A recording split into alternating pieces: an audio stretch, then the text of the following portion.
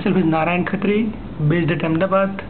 I am a certified financial planner CFP. Today's program uh, taken by uh, Mr. Kanakji is excellent and uh, is very practical.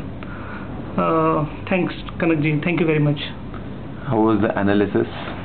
Analysis was uh, beautiful and uh, there are some practical solutions that I, I like very much since uh, there are many programs which we uh, take during year but uh, they are basically trainer and they give solution on based of book not on a practical manner.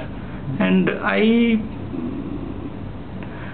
i get some solutions today which is practical in my business and not by book. That is i like most thank you very much